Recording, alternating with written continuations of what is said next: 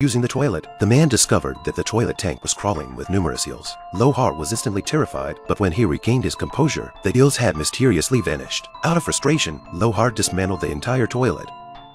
Suddenly, he recalled a phrase his father mentioned before committing suicide. People often overlook the truth. Lohar had an epiphany. He smashed the glass in his hand and used the shards to cut through the cast on his leg. To his surprise, his leg wasn't broken at all. That night, he stealthily infiltrated another area and witnessed a more horrifying scene. Guests were immersed in water-like specimens, and the boss was among them. Terrified, Lohar immediately ran, but was unfortunate to be spotted by a patrolling caregiver, with the dean close behind, asking why he was there. Lohar made up an excuse about a toothache and searching for medicine, so the dean took him to the dental ward. The man was forcibly held open-mouthed, wanting to shout for help, but no sound came out. Without hesitation, the dean picked up a dental drill and extracted one of his teeth. Suddenly, Lohar heard a strange noise, quietly approaching.